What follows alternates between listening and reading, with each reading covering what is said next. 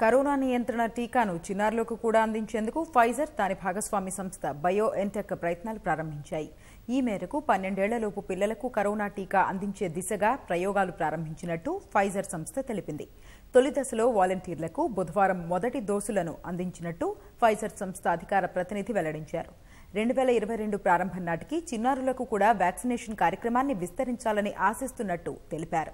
Pfizer bio NTech టీకాను పదహారేళ్ళు పైబడిన వారికి అందించేందుకు ఇప్పటికే అమెరికా అనుమతించింది.